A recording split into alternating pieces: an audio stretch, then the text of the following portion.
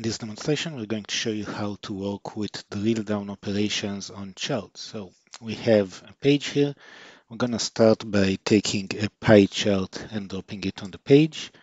And we're going to hook this chart into our department object. In department, we're going to show the total salary for the various employees and the name of the department. So you can also see that the primary key is the ID of the department that we're fetching. So this gives us this little chart that shows us the breakdown in each um, department of the total salaries there.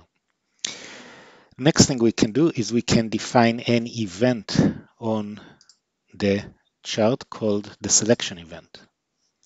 And when these events happen, we get an input, which is our selection. And we can start by just firing out a notification to show what we actually get here. So we're going to show you the item that we're getting in the selection. I'm going to put it also here.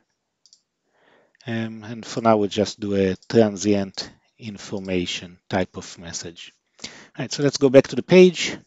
We'll switch to live mode. And when we click on the uh, department, we can see that nothing actually happens. Uh, and there's a reason for this.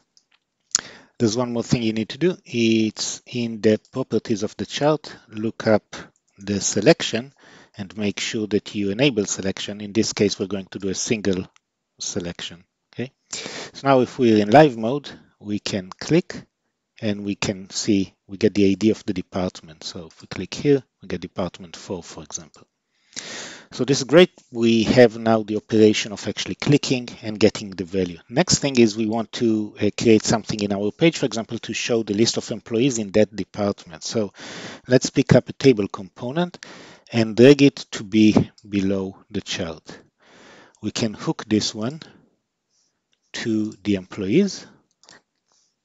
We want to show for each employee the name of the employee and their salary. We can also show the department that they are working in.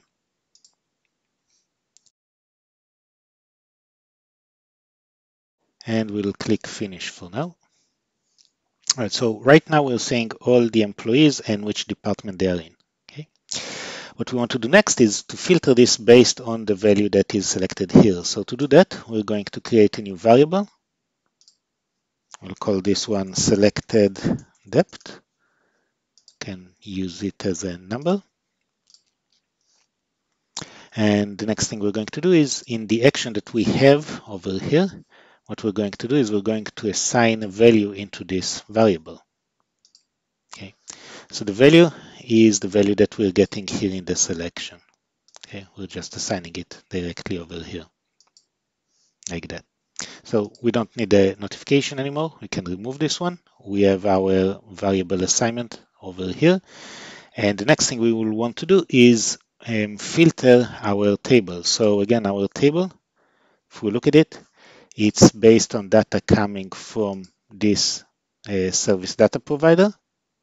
Okay, and we can go over to the service data provider for employee and define a filter on it.